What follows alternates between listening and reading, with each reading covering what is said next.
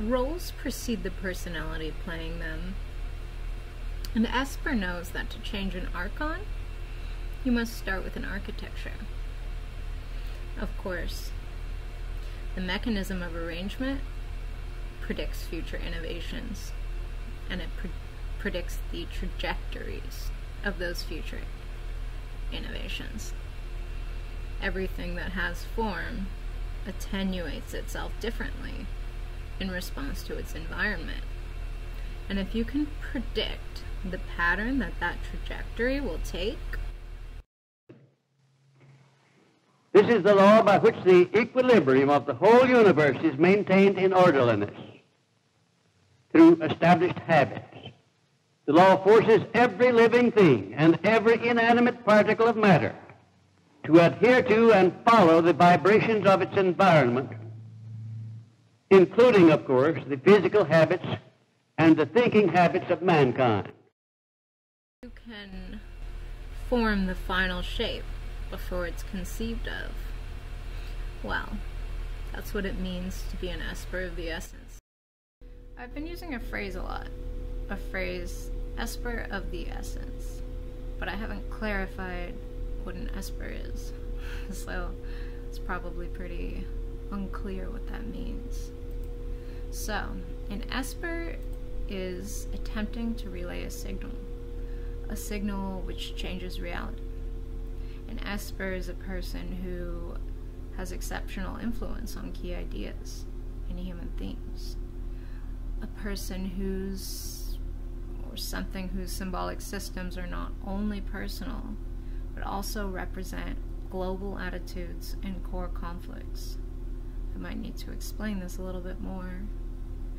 I have a colored animal that has always been special to me, and I know what it represents symbolically. So when it appears in my life, it has a direct and obvious message that I can interpret.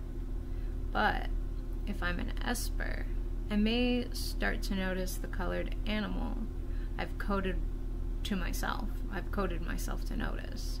It's appearing far more obviously and more often than it did in the past. If I was an Esper, then I might say there's a core theme of this symbolic entity which relates strongly to me, yes, but it also encapsulates a specific collective sentiment. In the case of the colored animal, as an esper, the more closely I have specified myself in the symbol, the more I will be able to act as an aid, as an agent in changing the persistent the persistent symbolic messaging implied by that colored animal. So if I feel I have a lot of control over the symbol, I really feel like in my heart like my emotional values with respect to this symbol, maybe it's a blue butterfly or something, are so strongly orientated towards me, I can really change the direction a story takes when it foreshadows or follows an aesthetic related to that symbol, which is so emotionally entangled as an egregore of mine in my inner world. I can even make predictions or projections about others who are sensitive to the symbol, because the symbol is more than a symbol. It's a thought form, a meme, uh, an actor, in agronomous, you know, imaginal space.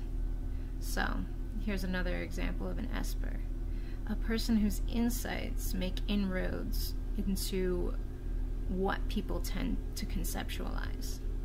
Let's say you have an esper of no particular renown with this idea about uncertainty in the quantum sense and the dual particle wave structure of light being a solid philosophical premise for the fundamental reality of consciousness.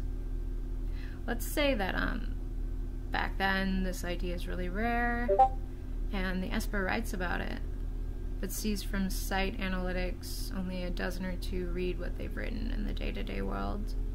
But eventually, or at some point, maybe a year or two down the line, maybe five years, the idea seems to be spontaneously accessible to people that have never interacted with the Esper before. Now, it is not because those people are listening to the things the Esper wrote or copying them. they have independently reached the same conclusion.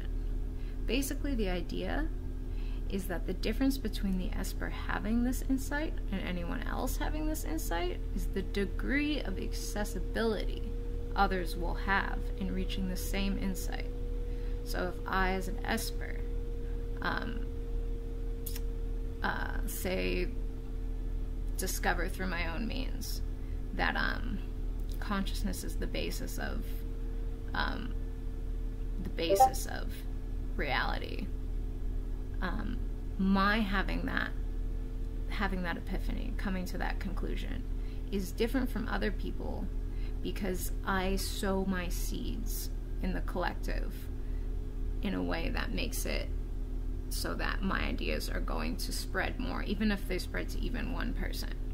Let's say that's because I published it on the internet, or let's say that it's because in the morphogenetic field, my insight has has a big oomph.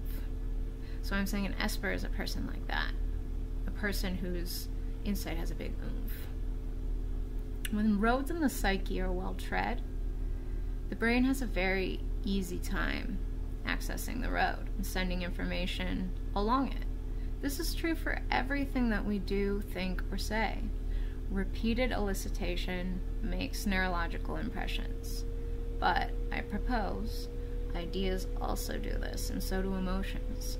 The more active they, they are in many people, the closer to conscious space these ideas stay. Simultaneous scientific breakthrough is relatively common because humanity collectively reaches milestones in knowledge.